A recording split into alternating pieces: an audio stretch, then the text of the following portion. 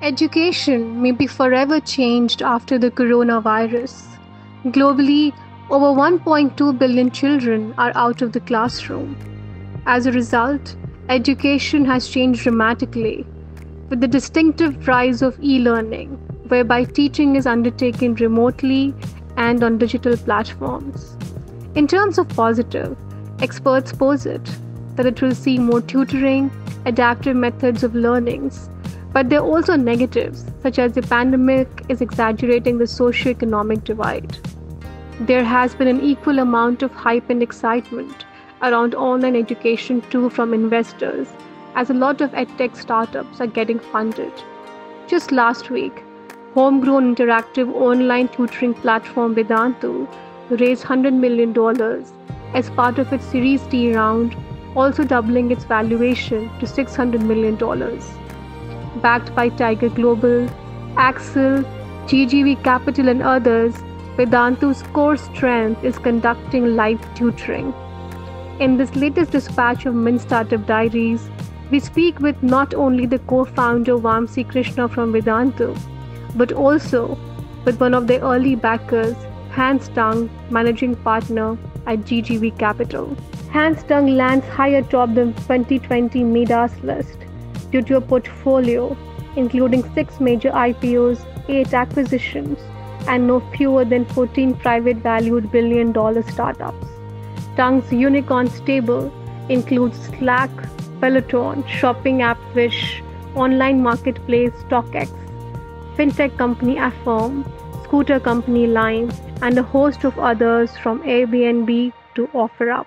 Let me begin the conversation with you, Hans. And I think it's a very pertinent question in the minds of almost everybody, and especially in the VC world. Uh, you know, around March, when this entire conversation around the pandemic and the lockdown became mainstream, you know, Sequoia unveiled a report actually calling the corona as a black swan event and cautioning all its portfolio companies what it could mean for the year. I wonder what the top investor in the world thinks about it and what it means for the startups across the globe. Give me some color and sense there. Sure, Shrija. First of all, thank you for having me on your podcast. We um, we're a global fund uh, with offices in uh, three continents, and so we uh, were able to see data from Asia um, that this was becoming a, a, issue. So as early as um, late January and early February, we had a start analyzing our portfolio across the board and what it means uh, for us and for them. And when um, in the US, where I'm based, um, COVID 19 became a more of an issue um, in late February and early March. We went to shutdown mode um, to work from home uh, on March 6th. So much uh, ahead of everyone else um, uh, in, near, near, nearby us. And we're not only VC also saw that, And Andreessen, Horowitz, and a couple others also realize that. So by being a global investor, you you you see more. Um, and we had in a span of two months did about 20 podcasts um, and online events. Um, we even featured the former uh, COO of Alibaba.com to talk through his experience, Savio Kwan, with uh, SARS back in 2003.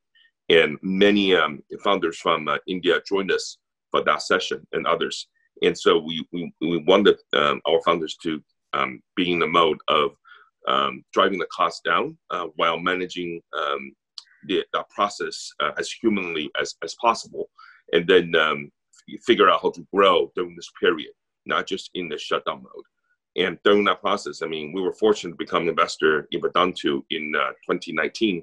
And Vamsi did an amazing, and the team did an amazing job of immediately went to that mode and uh, even grew the business during this during this time. So while we saw that across the board in our over 200 portfolio companies, the best founders somehow can rise to the occasion and um, even can grow during tough times and prepare the team forward while still strengthening the culture. So, which is very fortunate to be with a group of such strong founders.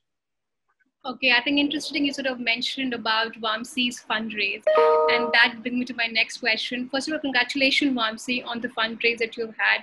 I also want to ask you that there have been spate of announcements in the edtech space in the recent past. You know, you have been on a fundraising spree. we also are hearing talks about Unacademy, you know, gearing up for a large fundraise. Then you also have Byju's, you know, which just raised a huge round of funding from Mary Meeker. I want to understand from you that, you know, in the VC world, it's often sort of said that it's a winner takes all market. And when you have someone like Byju's, which is so heavily funded, so perhaps somewhere the winner has already been chosen. I want to understand what is your view on this. So thanks, uh, Shrija, for having uh, me over, and uh, and uh, thanks, uh, you know, for your kind words.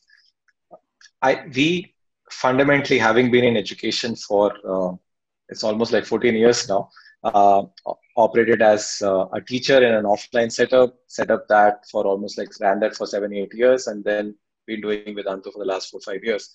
Uh, education as all of us have gone through the system and the process ourselves i'm sure we all understand it's uh, it's really about the brand which gets generated through the student experience and superior learning outcomes and as a result of it, if you see even in offline, online is still new, right? But offline has been there for centuries. In offline, if you see, it's never a winner takes all market, right? There are so many teachers out there, so many institutes, so many schools, right? So many brands. Uh, so we have never, never thought about this as, uh, you know, as you know, as you were mentioning, as one player or even two players, right? It's never been a winner takes all market, and that's not just true for India it's actually true for uh, you know anywhere else in the world as well. And Hans can also actually add on to his own perspective and experience to that.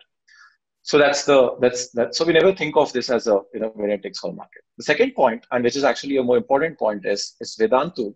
We were the first company in uh, India to start with live tutoring, and uh, this pedagogy, this construct we always felt is a superior mode of teaching and learning, which can bring forth, uh, you know, far more superior learning outcomes.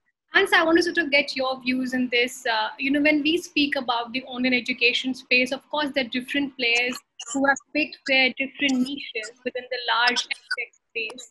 Uh, Vamsi sort of just alluded to the fact that he is doubling down on the live tutoring space. It's becoming more adaptive. You know how much in your conversation with the uh, Vamsi does the Byju conversation come in? Uh, don't you think that is uh, don't somewhere it's kind of playing out in the minds of investors like yours that, that when you have a player you know valued at 10 billion dollars and there's a next player out there how are you sort of thinking about plugging that gap then? Yeah that, that makes it very fun to do investing and also for startups in uh, technology sector it's rarely a winner takes all mar- market. Um, even though, for example, in e-commerce, Alibaba and Amazon are the two giant powerhouses. There are other companies like Pinduoduo, like Shopify, who can also be uh, material and offer differentiated service. Part of the reason is because the split between online versus offline, like Vamsi said. Part of the reason is because of closed system, like an Apple, versus the open system like an Android, which obviously we benefit from being an early investor in Xiaomi from day one. So we, we, we, we even did a study and launched a digital economy index yesterday where we analyzed 91 companies around the world, all of them publicly traded, all of them consumer facing or related, all of them uh, doing some kind of transactions uh, online. Um, and you look at that, you look at that study, you see that the smaller stock that's differentiated, that embrace an open system, ends up growing faster and appreciate more value um, over uh, over uh, the most immediate future, even though they were quote unquote later in the game. But during the last three to five years, the valuation went up faster in the public market than the so-called incumbent were bigger. And specifically in case of Vamsi, Vamsi and Vedantu, we think that online education is the way to go in India. Um, offline has its part, but given the vast size of the country and disparity in quality of the teaching, you really need to be able to put the best teachers in front of as many people as possible. The only way to do that is online. And you also need to be able to figure out how to do one to many live tutoring so you can help more people with a more efficient model. And when we look throughout India, we thought that Vamsi the Vedantu has the best chance and the best experience at doing that. And the first time we met um, Vamsi through our good friends um, on the board, it was uh, April 2019. And um, internally, we're trying to figure out if this is the best one. The Byju question came up as well. And, um, and by sept- uh, September, October, we realized that this is actually the best team to bet on for that thesis that we have. And, um, and that's the experience we saw with US and China that the best online education company that understand tech better can actually become the best company overall. If you look at, for example, China, the largest education market in the world, New Oriental is an amazing company, great brand, been around longer and bigger than TAL. But over the last five years, TAL has been able to become number one by doing something different than New Oriental. Both are still great companies, both are doing well. But just to show you, uh, a number two player could become number one. We're an investor in Musical.ly, which turned into ByteDance and TikTok. And you see how TikTok is making a run at Facebook. It's just to show you that, you know, in technology, in internet, a lot of things can happen. If a founder and team have a differentiation and a winning strategy, even if they come from quote unquote behind, they can still have a very impressive outcome and make great contributions to uh, society. Interesting. So you're saying that, you know, Vedantu is out there to challenge Byju's in a big way. Things can always happen in technology and nothing is out of question. I yeah, to I mean, education is a big market, so everybody can do something different and still do well. And I don't look at India market as just a market India. I think that team in education in India over time can build global businesses. And that's what we saw with uh, some of the Chinese team, and obviously most of the American teams can do that. And I think India is the next that can build teams like that that can tackle a global market. You look some of the top CEOs at tech companies in the US, um, increasingly many of them are Indians now. And so there's no reason why the Indian team over time cannot build an amazing company that's global. Yeah. So I want to understand from you, Vamsi, coming back to you, is that, you know, so what are defensible moats on which sort of you're building out Vedantu? You know, and are these pretty very strong? And uh, what are your expansion plans there in that direction? because to sort of what just Hans sort of alluded to right now is very clearly that companies can begin with some kind of thesis, but can actually grow on to become much larger and formidable in technology. That's true, and I, I, I mean, that's been our uh, not just thesis, but that's been our story also, right? If you have closely followed Vedantu, I think in way back in 2014 when we started 2015, if you look at actually our numbers, or even you know just any any any metric, uh, from 2015 to 2000 and almost like uh, 18 uh, it was like it was almost like you know uh, i mean there was nothing right?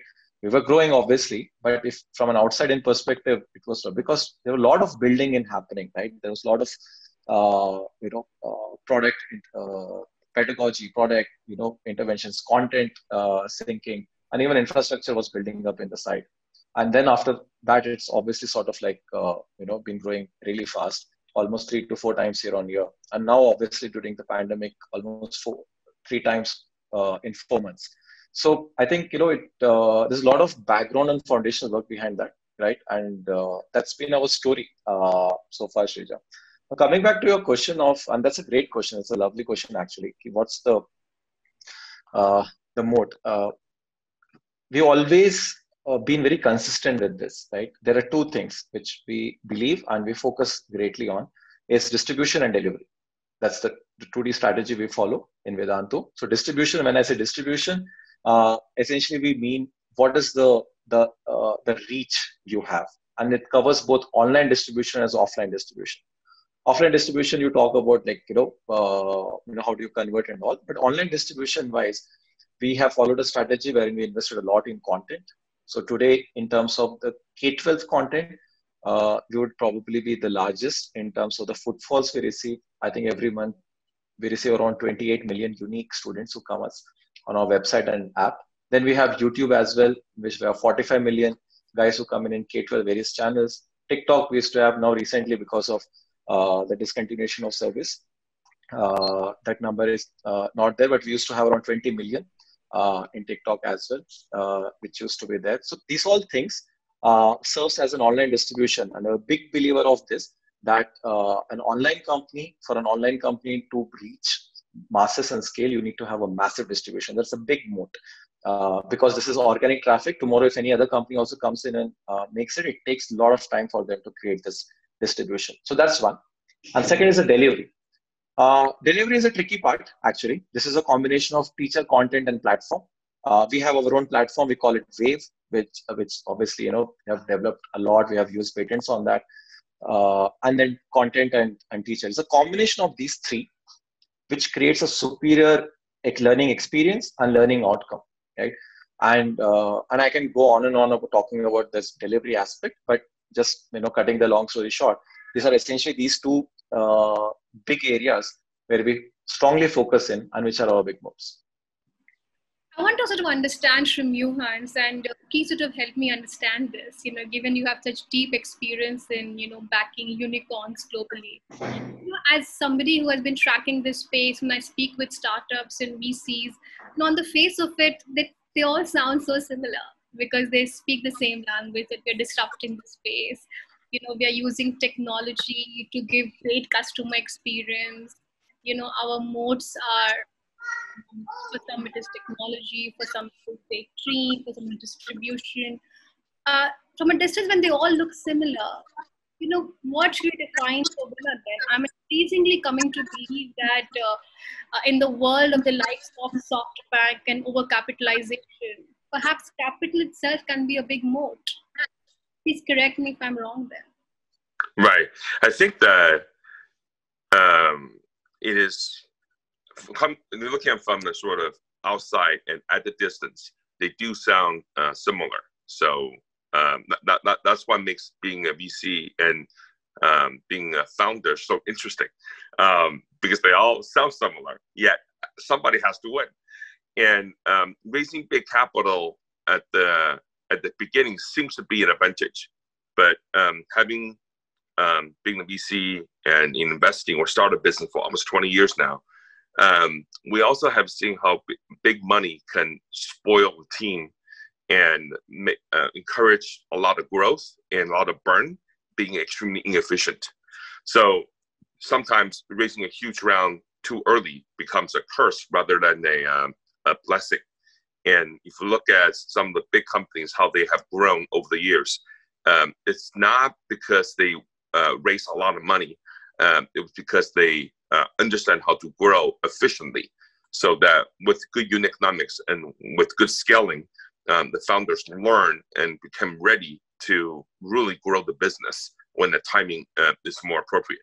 So what it comes down to it is actually judgment rather than principles and um, analogies and thesis. Um, and uh, most people don't realize this. Um, you, you, can spot something um, early, but you can also spot many things early. They all have a shot. It's hard to know which one will actually win. The magic really lies with the founders themselves, and the founders evolve and change. Um, when I bet on uh, Xiaomi, uh, Lei Jun wasn't Lei Jun today. Um, he evolved for sure um, when I um, betted on uh, companies like Peloton and Wish and Airbnb and Slack, these founders also have evolved even before our investment. We, we when we met them, we did we were an investor. To when we become an investor, they they evolved, and afterwards they grew even more. And so um, when, when we met Vamsi for the first time to Vamsi today, we can see the changes and how he has grown and how his team has grown. And the fun part of being a VC or a founder is to be able to be self-reflective and the way we look where you have been and become clear and clear where you also need to be where the opportunities are. And the more people outside don't know or doubt you or not sure, it's actually a good thing. It means less competition, less people caring about you, and more room for you to grow and expand. So when you've been through this journey several times, um, you can almost predict what will happen if you're just patient and have the right strategy and can execute. So it has been an amazing journey uh, working with Vamsi and uh, and his team on this. So all of us at GGV are very excited about what uh, his team and him will do. Okay, I see this huge stamp of faith coming from the investor to the investee. I think we spent a lot of time on talking about differentiation and moats and competitive advantage here. Uh, tell me and give me some on the expansion plans and why is this need to raise money so much all the time? This is your third fundraising this year. Uh, what is your burn rate like then? Because Hans just alluded to the fact that good companies are built on solid unit economics. Do you are you there yet? Uh, great, uh, Shrija. I mean, uh, these are very deep questions. Love, love you know, the, uh, that you are asking there, and these are the questions which matter too. Um, so there are three, four parts to it, right? So as far as the first one is the expansion, uh, and where do we look forward to investing this? Um, we really didn't need uh, funding. I mean, I can be categorically, you know, uh, clear about that because we just uh, closed uh, some just a quarter back. In fact, uh, there were two things simply. One was uh, a great partner, and that, and we always have believed that this is going to be a long journey. because if you are onto something to change something which has been happening in a particular way for centuries, forget decades, uh, it takes time uh, for that to happen. And I can tell you this because having been in education for almost 14 years now, I mean, uh, it's I mean, it's all excitement around COVID and things happening and changing around this is great. Uh, but I mean, we need to take a step back and take it, you know, uh, uh, look at a bigger picture. So it's going to take time, and we are all for getting great partners. Even in fact, when Hans, you know, and team came in, we knew them from long time back, and and I think even when uh, you know this round got concluded, uh, we didn't need funds at all. But it was because of Hans and the team is when we really you know said that okay let's let's just partner because more than money, money I think I have a belief that money anyone can give. It's actually the other things which uh, matter uh, much more in a longer term, right? So so this was here also it was a classical case of that. Uh, and on top of that, of course, you know we been uh, going aggressive on brand uh, fundamentally because we believe that this is a time when everyone is thinking about this. There's no option. Schools are shut. Uh, and all the coachings and the offline tuitions and all those things are completely gone. So definitely perfect time for us to make uh, experience, uh, give experience of a Vedantu's class to a parent and a student and make them understand that this is how an online class works because that's the biggest challenge, right? People, uh, because they studied in a particular way, they don't really know this this exists, right? It is still very early. Uh, the market penetration of the entire online, if you look at it, is less than three percent, right, in India. So uh, online education. So I think it's very early. So hence, all the more reason for us to go more aggressive uh, in awareness building and brand building, and get as many students to uh, experience a Vedantu's class. So that's uh, primarily also the reason why we wanted to lean in and uh, funding and more uh, you know uh, money will give us that much more firepower to execute that so that was on the uh, the need for fundraise and what was the decision like what was the thought process behind doing that in terms of expansion of categories Shrija, we already expanded i mean this was even before uh, the funding at all we'd already expanded to k1 to k5 uh, that was always on the, the cards because it's very logical because we were in sixth grade to 12th grade.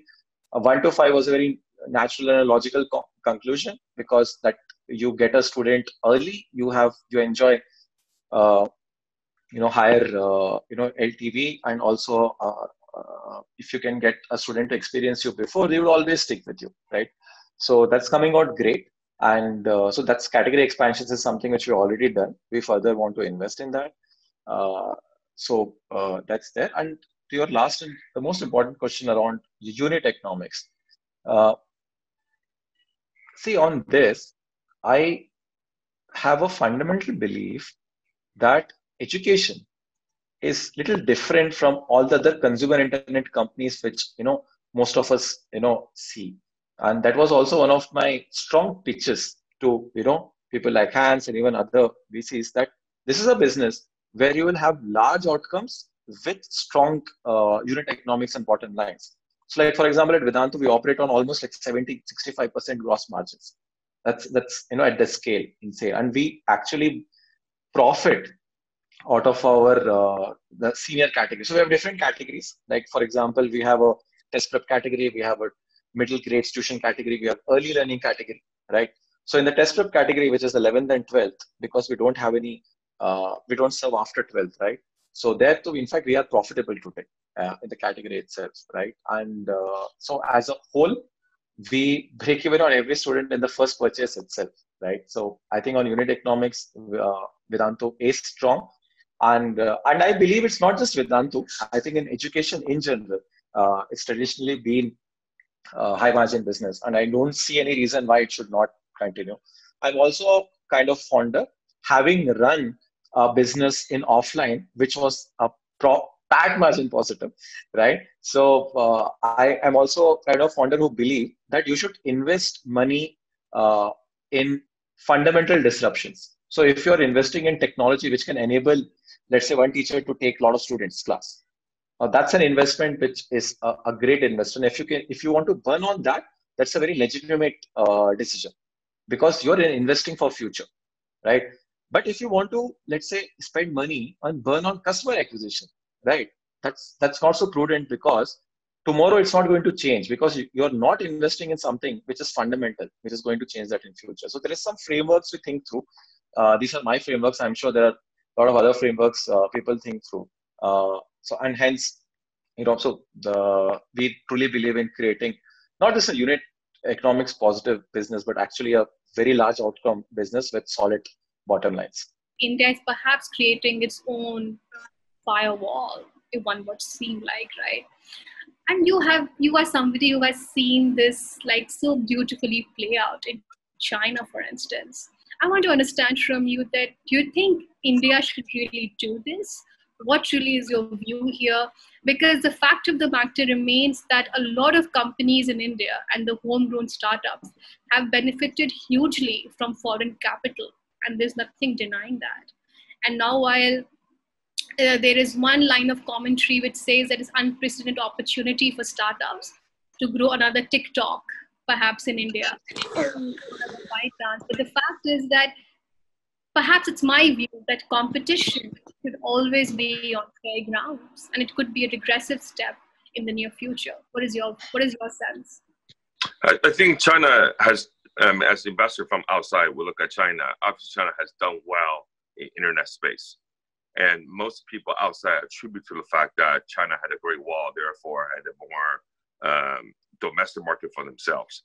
I, I, actually disagree with that. Um, as someone who um, was on the ground in China for eight years as a VC, what I saw was that the it's the speed of learning, the speed of uh, competition. That if you don't survive against your peers, it doesn't really matter if Facebook, Google is there because you, you're not going to win anyway. And so it is that survival of the fittest and meritocracy based on how users react to you. Because when you're building a business that has millions, tens of millions, hundreds of millions of users, you can't bribe anyone to like you. You have to offer superior product and services. So it is the most meritocracy uh, driven um, segment of the economy in China that's just consumer internet. And it was the our thesis back then is that it was easier to scale a consumer facing business in China on the internet than any other kind of business in China. So China that people know from outside is that's actually different um, than the, the tech China we know, internet China we know, that's governed by meritocracy and survival of the fittest and being the best at what you do and learn the quickest in order to, to iterate fast to survive. And we saw the same kind of drive in India as well. So whether Indian government decides to do to um, uh, close or be open, that is not our position to to uh, to, to to say or influence. Um, but what we can see by being on the ground, uh, looking at talking to founders in India, is that the that drive of building something that's uniquely Indian and building things quickly and learn quickly and adjust quickly um, is the key to build a um, out, big outcome and contribute to society, whether it's a closed system or open system. Lacking that drive, lacking that um, ability to innovate, to iterate fast, is going to be a problem even you have a closed system. Because having closed system doesn't guarantee success. There are many other countries that had closed systems before that did not work. So i think what india is unique as that you have a large population that's um, that's increasingly well educated and a top segment can speak english uh, well. And that uh, and the ability to innovate and work hard and iterate. That kind of um, foundation and fundamentals is rare around the world. So I, again, I think that the best Indian teams will not just build business in India; they will go out. Um, so in the next five, ten years, we will see if India teams um, do it do it right, and hopefully with um, our help, can build large global businesses in the next five to ten years. And it's hard to see that uh, today. Um, you know, not as many examples as positive, but I think that will change. So you're saying that it's hard to see it today in India? No, I think it's hard for other people to see it today because uh, given how long it has taken uh, India to get to this point, how expensive 3G rollout was, um, 4G with Jio is such a big difference in democratized access to internet for Indian population. This is why you see a lot of um, Silicon Valley tech giants investing Jio for that reason.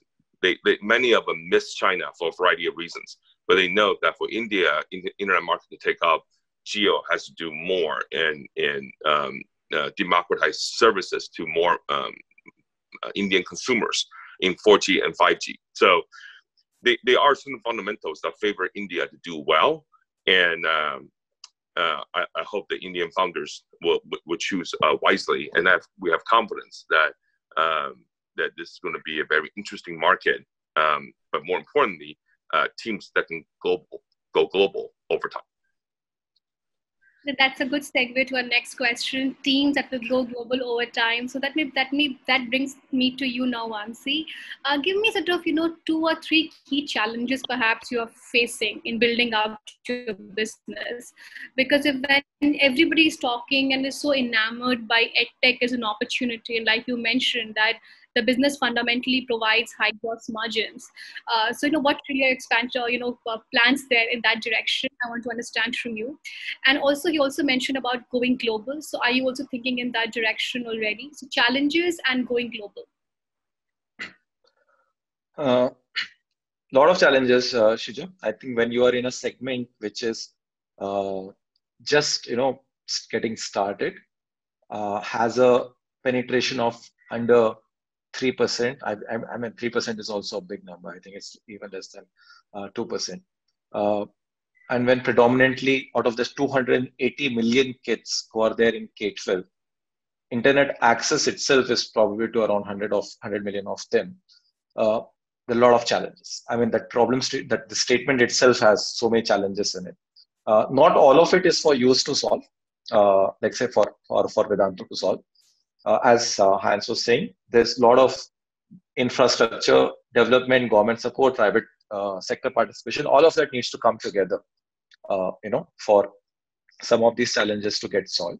Specifically talking about Vedantu and what are the challenges which is for us to solve is, is to bring the price price point down for sure, right?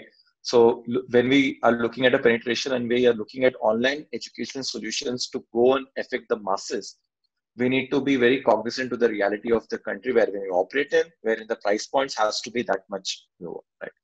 Uh, that's a problem which we are trying to solve. I can just give you an example, you know, simplifying it for you. When we started way back in 2014, our price point for reference sake per hour was 500 bucks. Uh, right now, it's around 60 rupees, right? And I'm very confident that I want to disrupt that to probably sub 25 rupees. Uh, which would be one third to one fourth of what an offline today would cost uh, in a tier two, tier three location. This I'm speaking to you about because my offline venture we started in a city called Barna. Uh, it's not a city. It's a small place called Barnala in Punjab. And you know when you know when we operated that there for many years in those places, and that's that's really the kind of people online education companies need to you know uh, be optimized for and solve for. So there's an internet infrastructure challenge which is only we can't solve it, but there are definitely other challenges which we definitely look to solve. So that's that's definitely a a big challenge, right? As far as uh, the second part is concerned, I'm a big believer of that. When Hans and I connected, in fact, I really look forward to a lot of these learnings, right? And uh, and I, am a big believer that yes, uh, in education for sure, uh, there is going to be big global uh, companies built out of India for a very logical reason that Indian teachers are English speaking teachers. So I imagine, you know, uh, definitely ourselves becoming a global, you know, powerhouse, a global supplier of high quality teaching talent. And that's a win-win because obviously of the price arbitrage, we can also offer high cost, high price to our teachers, right? And they are English speaking, so they can always become, uh, you know, uh, great teachers uh, abroad. I also am saying this not out of just as a wish list, but even today, students from 48 countries study on Vedantu, and this all organic. We haven't done anything around this right now. It's all NRIs and you know uh, people who get to know about us from their own uh, you know relatives and all. They already are studying on Vedantu, and it's so seamless. If you were to give me one word that comes to your mind when I say the following, what would that be? SoftBank. Capital. Okay. India's campaign of Atmanirbharta or perhaps Make in India, self reliant. Go global. What is your advice to the Indian FM? Be open. okay. And I want to understand from you that if you were to give one advice, you know, what ensures the winning mindset of founders? What would that be? Dare to dream. Okay. I come to you now, Vamsi. There's one thing that you incredibly adore about Hans. What is that? Vision. Something which you think if you were to go back in time and you wish you could have revisited and redone. So when we okay, so there's a long answer. Sorry. Okay, so when we transited from uh, Lakshya to Vedantu, we sort of you know felt that you know uh, can't do both, right? So so maybe right you know probably could have done. Uh, okay, Hans, I have to ask you this before I leave that this entire obsession of private equity investors to Reliance Jio, almost making it the essential services to private equity, if I may, you know. I mean, have you seen this madness ever before? And what is it that VCs are seeing and perhaps we are missing? Because it almost looks like that we have democratically elected a monopoly in India.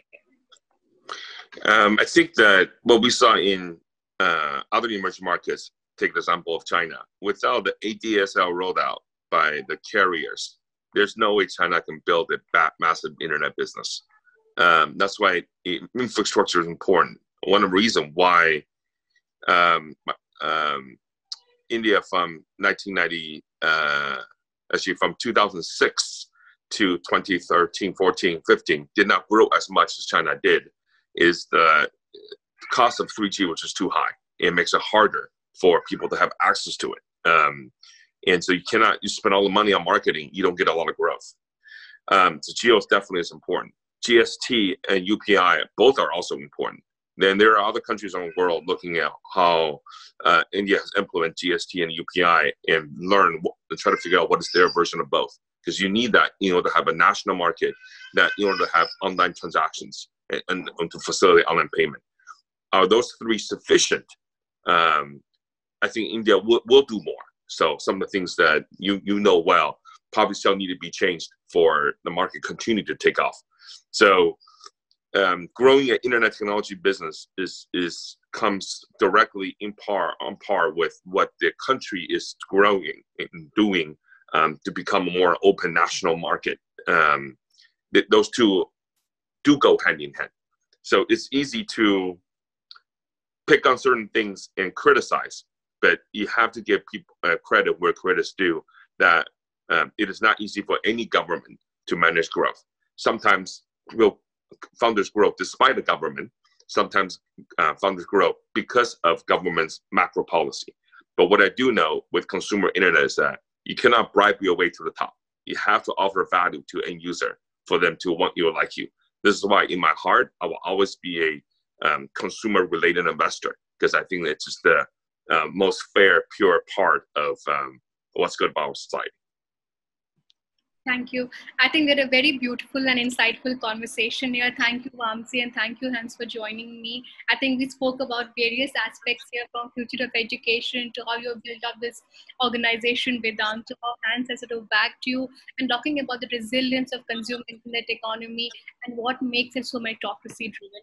Thank you, gentlemen, for joining me. Till the time we see you next, goodbye and good luck, and do stay safe. Thank you so much. Thank, Thank you so much. Great questions. Thank you. Thanks. Loved having to be here. Thanks. Yeah, that was fantastic. Take care.